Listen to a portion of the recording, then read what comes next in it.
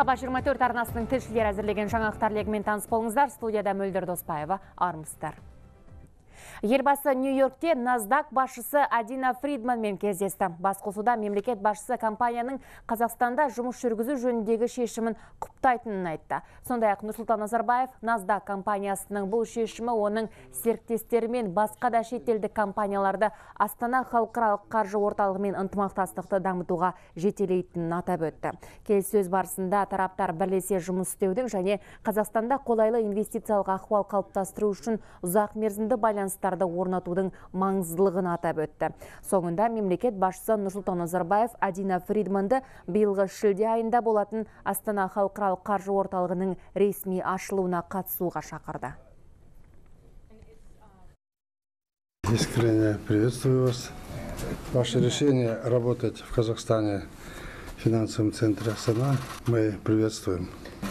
Вы, конечно, знаете, что мы создаем все благоприятные условия для тех, кто будет работать. То, что ваша компания NASDAQ решила работать у нас, это, я думаю, хороший стимул для всех других компаний.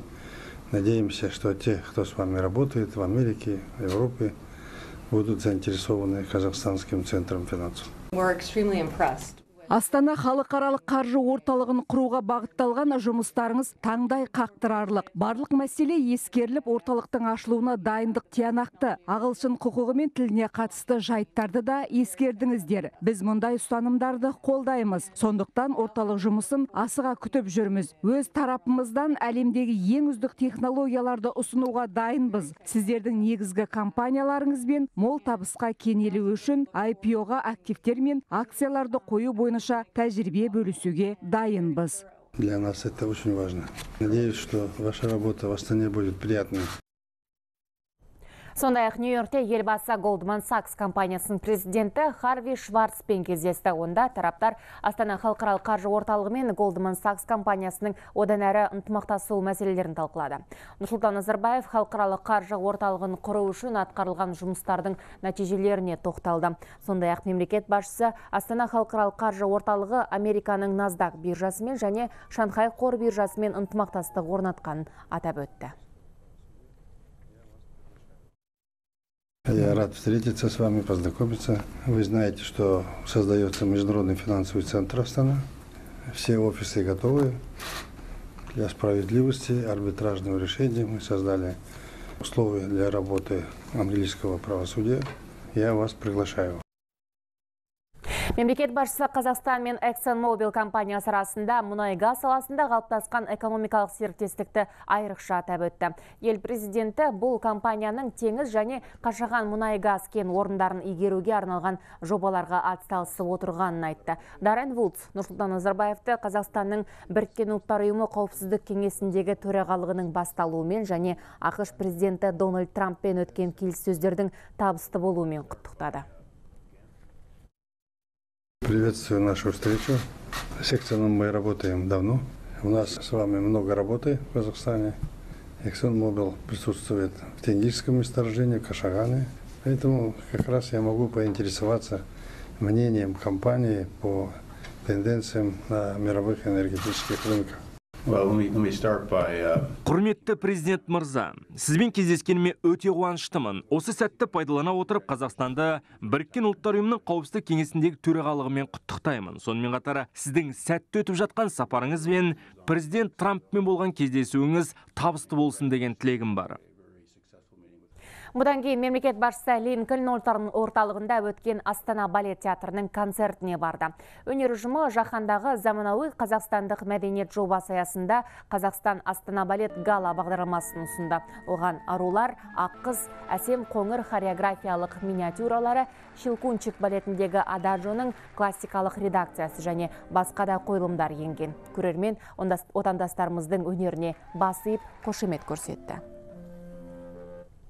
Еліміздің сыртқы істер министрі Қайрат Абдрахманов елбасы Нұрсұлтан Назарбаевтың қатысуымен өтетін Біріккен ұлттар ұйымы қауіпсіздік кеңесінің алдағы отырысы туралы айтты деп хабарлайды Қазақпарат.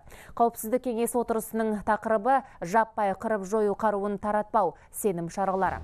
Біз төраға ретінде шараның тұжырымдамасын ұсындық және оны қауіпсіздік кеңесінің барлық мүшелері қолдады.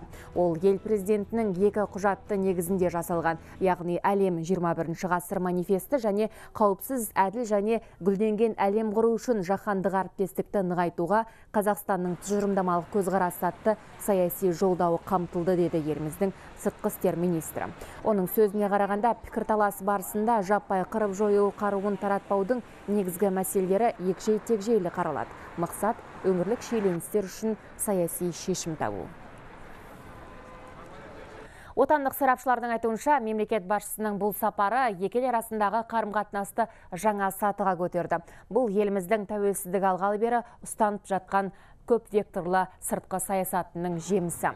Ақш сапары әлемдік қауымдастықтың назарын орталық Азия мәселелеріне аударуға жол ашты. Қазақстанның аймақтық қауіпсіздік бойынша бастамалары енді Біріккен ұлттар ұйымы қауіпсіздік кеңесінің тұрақты емес мүшесі ретінде төрағалығы барысында жалғасын табады дейді сарапшылар.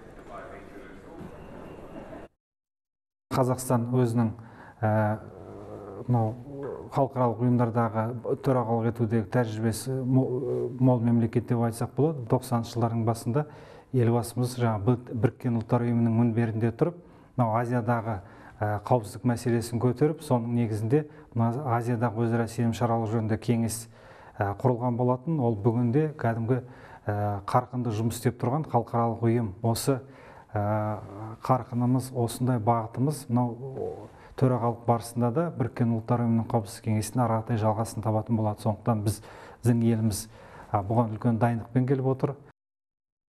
Дональд Трамптың қазақ көшбасшысымен кездесу өткізуі екі ел арасындағы байланыстың жаңа деңгейге көтерілгенін аңғартады. Қазақстан ақштың орталық Азиядағы маңызды әріптесі. Мұра қоры және сыртқы саясат институтының директоры Люк Коффи осындай пікірде. Сарапшы Нұрсұлтан Назарбаевтың ресми сапар аясында жалпы сомасы 7 миллиард доллардан асатын 20-дан астам келісімге қол қойылуын жоғары бағалады. Әсіресе қос елдің энергетика саласына қызығушылығы ерекше. Қол жеткізілген уағдаластықтар Қазақстан экономикасын әртараптандыруға мүмкіндік береді дейді ол. Сондай ақ еліміздің Біріккен ұлттар ұйымы қауіпсіздік кеңесінің төрағасы ретінде Ауғанстан мәселесін көтеруін жоғары бағалап отыр.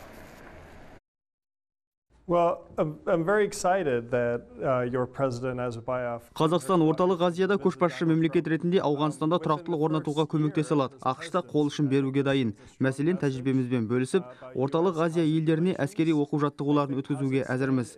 Біз Қазақстанның бейбіт бастамаларын қолдаймыз. Сондай ақ сарапшылар елбасының Америкаға сапары екі ел арасындағы стратегиялық серіктестікті жаңа деңгейге көтерді деп санайды. Түрлі салалардағы ынтымақтастық жандана түсетініне сенімді. ақш қазақстанмен әріптестікті одан әрі дамытуды қалайды. Бұл ретте қазақстан президентінің бізге жасаған сапары өте маңызды. Әрине біз сіздердің елдеріңізбен тәуелсіздік алған кезден бастап ынтымақтастық орнаттық. Бірақ қазақ көшбасшысының бұл сапары серіктестікке жаңа леп бермек. Мемлекет басшысы Нұрсұлтан Назарбаевтың ақышқа ресми сапары ел экономикасына тың серпін береді. Екі ел арасында жасалған келісімдер әсіресе жаңа технологияларды игеріп дамытуға мүмкіндік бермек. США является основным инвестиционным партнером Казахстана. ақш қазақстанның негізгі инвестициялық серіктестерінің бірі. Ел экономикасына қаржы құйып отырған елдердің тізімінде екінші орында тұр. Сөзімізге дәлел 1993 жылдан бері 26 миллиард доллар инвестиция тартылды. Болашақта да қос ел арасындағы инвестициялық серіктестікті нығайтуға мүмкіндік мол. Как мы знаем в общем-то американские нефтяные компании америкалық мұнай компанияларының қазақстан экономикасына қаржы құйған негізгі инвесторлардың бірі екенін білеміз қазірде олармен бірлесіп бірнеше ірі жобалар жүзеге асырылып жатыр бұл теңіз қашаған және қарашығанақ біздің экономикамызға тартылатын ауқымды инвестицияны осы жақтан күтуіміз керек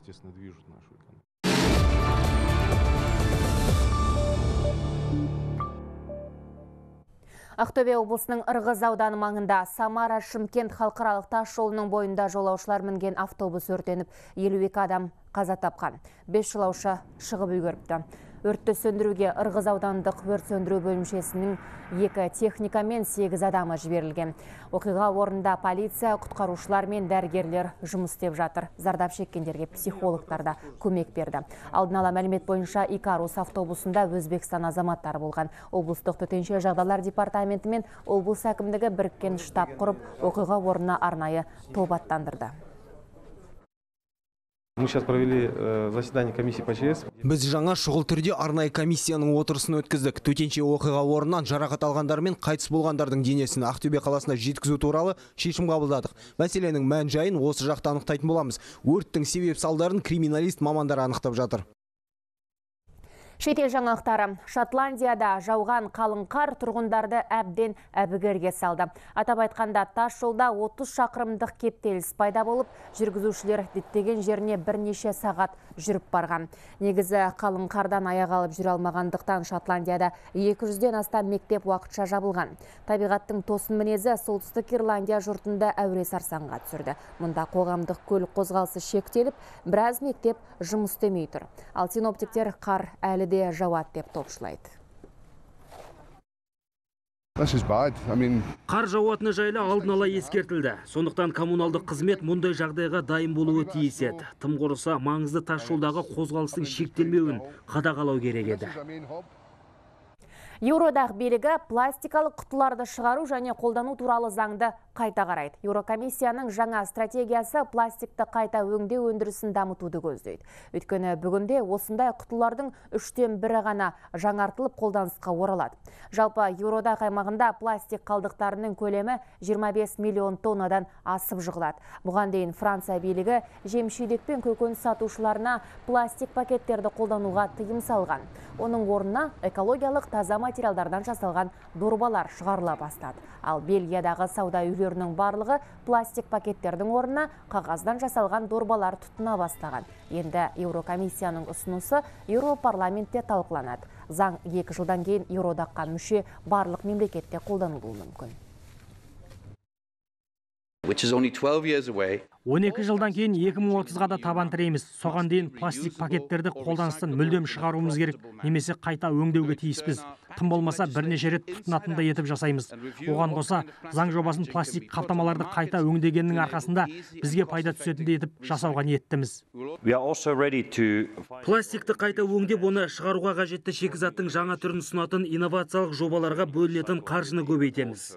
Еуропаның Горизонт 2020 даму бағдарламасы бойынша осындай жобаларға 250 миллион еуро бөлінді. 2020 жылға қарай бұл сомаға қосымша тағы 100 миллион еуро бөлмекпіз. Оңтүстік Корея мен Солтүстік Корея делегациялары Пхенчхандағы Олимпиада ойындарында ашылу салтанатына ортақ жалаумен шығады. Тиісті шешім қос мемлекет өкілдерінің өткізген алты бірдей кеңесінің қорытындысы бойынша қабылданған. Тараптар сондай-ақ әйелдердің ортақ хоккей командасын құруға да уағдаласты. Айта кеткен жөн, жаңа жылдық жолдауында Ким Чен Ын екі мемлекет арасындағы жанжалды реттеуге әзір екенін жеткізген. Осыдан кейін Солтүстік Корея өкілдерінің Пхенчхандағы Олимпиада ойындарына қатысу мәселесі көтерілді. Қаңтардың ішінде жүргізілген келіссөздер қорытындысы бойынша көрші елден додаға жарты мыңнан астам адамның тұратын делегация келеді. Жалпы 23-ші қысқы Олимпиада ойындары биыл ақпанның 9 мен 25 аралығында өтеді. 개회식에 한반도기를 앞세워 23-ші қысқы Олимпиада ойындарына дейін екі елдің өкілдері Солтүстік Кореяның Кымган таулы аймағында мәдени шаралар өткізеді. Ал ортақ хоккей командамыз осы елдегі Машикюрион шипажайында жаттығады. 10여 명 규모의 응원 Ел жаңалықтарына ойсақ, Алматы қалалық әкімшілігінің қолдауымен спорттық Алматы бағдарламасы жүзеге асты. Мақсат бұқаралық спортты дамыту. Бағдарлама арқылы енді балалар тауда шаңғы мен сырғанауды тегін үйренеді. Бұл үшін білікті бапкерлер күн сайын арнайы дәріс жүргізеді. Ұйымдастырушылар қатысушылардың тауға қатынау мәселесінде шешіп қойған балаларда арнайы көліктер күніне екі рет шымбұлаққа апарып әрі алып қайтады. Мұнда тіркелу де оңай. Баланың туу туралы куәлігі мен ата-ананың жазбаша рұқсаты болу керек. Сондай-ақ оған бас көз болатын ересек адам еріп жүру шарт. Тағы бір ақпар, Шымбұлақ пен Звездная поляна орталықтарында тегін үйрету курсы үш айға созылса, пионер базасында төрт айға дейін жалғасады. Бұл бағдарламаның басты мақсаты ол бұқаралық спортты көтеру. Сонымен қоса біздің қыстық спорт түрлерін дамыту шаңғы спортын дамытып осы біздің қаламызда үлкен бір керемет нәтиже көрсететін болашақ ұрпақты тәрбиелеп Ақтаудағы жағалауда жатқан жартастар туристік нысанға айналмақ. Шаһар басшылары қалада ерекше жобаны іске асырады. Жартасты жағала екі шақырым жерге сүрлеу жол салынады. Мұндағы үңгірлер абаттандырылып, табиғи мұражайға айналады. Жасанды сарқырама жасауда көзделуде. Еліміздің теңіз қақпасындағы бірегей жоба туралы Гүлмира Әбішева әңгімелейді. Жартастағы сүрлеу жол дәл осы жерден басталады. Бұл жер тегіс болмағандықтан жартасты бойлай мыңнан астам баспалдақ салынады. Саяхаттаушылар мен қала тұрғындары Каспий теңізін жалпы осы жердегі табиғатты тамашалай отырып, екі шақырымдай жерді жаяу жүріп өтеді. Жаяу жүргіншілердің қауіпсіздігі үшін сүрлеудің екі жағы қоршалып, әр 30 метр сайын бейне бақылау орнатылады. 24 шолу алаңы салынады. Халықтың күндіз түні демалу үшін барлық жартас жарықтандырылады. Алыстан көрінетін түрлі түсті шамдар қала ажарын аша түспек. Техника сюда никакая не заходит. Мұнда техниканы алып келу қиын болғандықтан барлық құрылыс жұмысы қолмен жасалады. Ағаш полимерлі композит материалын қолданамыз. Бұл осы өңірдің табиғатына, ауа райына төзімді материал. 20 жылға дейін жарамды. Сүрлеу жолды салу кезінде жартастың табиғилығы сақталады. Жоба аясында жартастағы үңгірлерді абаттандырып, табиғи мұражайға айналдыру көзделіп отыр. Ең үлкен үңгірдің ұзындығы 70, ені 60 метр. Мұнда көне қазақ жазулары мен Маңғыстаудағы тастарда жатқан таңбалар жинақталмақ. Сондай-ақ аймақтың тарихы туралы ақпараттар жазылады. Бұл саяхаттаушылардың қызығушылығын арттырары анық. Жоба авторлары сондай-ақ қолдан сарқырама жасауды да жоспарлап отыр. Жаяу жүргіншілерге жағдай жасау. Енді қазір халықтың саны өсуіне байланысты жаңағы айтқан салауатты өмір салтын қалыптастыру бағытында жасалып жатқан жұмыстар енді көбіне қазір қаламызда автокөлік жеткілікті шамадан тыс деп те айтуға болады сондықтан біздің мына тұрғындарымызды жаяу серуендеуге мүмкіндік жасаудың амалы деп есептеймін. Бір миллиард теңгеге бағаланған жоба инвесторлардың қаржысына жүзеге асырылады. Қала басшылары бірегей жобаны үкімет мақұлдаса құрылысты алдағы көктемде бастап келер жылы іске қосуды жоспарлап отыр. Гүлмира әбішева ринат досалиев ақтау хабар 24 Еліміздің барлық өңірінде атамекенім акциясы жүріп жатыр. Шара әлеуметтік жауапкершілік мәселелерінде бизнес бастамаларына қолдау көрсетуді көздейді. Осы ретте Қызылордалық тігін фабрикасы 200-дей балғынға су жаңа жейде сыйлады. Жергілікті өнім мүмкіндігі шектеулі және тұрмысы төмен отбасылардың балаларына үлестіріледі. Көйлектер ұл және қыз балаларға арнайы өлшеммен лайықтап тігілген. 30 шақты тігіншісі бар цех көрек көлшектің 150 түрін өндіріп, 2 жылдан бері республика бойынша сатылымға шығарумен айналысады. Саудадан бөлек жаңағы қайырымдылық шараларына қатысқанды жөн көрдік. Соның ішінде осы 144 мектепке арналған қайырымдылық шаралардың бірі ол 185 көйлек жейделер қайырымдылыққа әкеліп отырмыз осы көмек ретінде. Біздің тігін фабрикамыз осы мұқтаж жандарға әр кезде көмектесуге дайынбыз.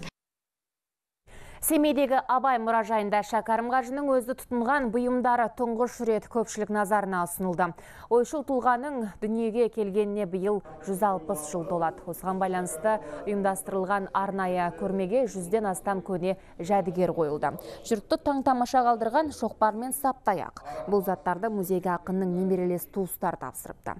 Сонымен қатар көрмеде Шәкәрімнің шығармалары, қол жазбалары, фотосуреттермен танысуға болады. Мерейтой қарсаңында ғылыми тәжірибелік конференциялар мен тағылымдық кештер өткізуде жоспарда тұр. Қанша шәкәрім қажыны қапасқа салып шығармашылығын шығармаларын да оқытпай ілуде бір адам болмаса шәкәрім қажының шығармалары жасырын оқылған ел бір біріне айтуға қорыққан сол заманнан аман есен шығып отыруының өзі кезінде өзінің өлеңдері мен сөздеріне шәкәрім ажалсыз әскер деп сөз тақырып қойған екен. Сол ажалсыз әскери шәкәрімнің міне халқымен бірге тәуелсіздікке жетіп еліміздің бүгінгі бақытты өміріне куә болып отыр. Әзірге осы келесі эфирде жүздескенше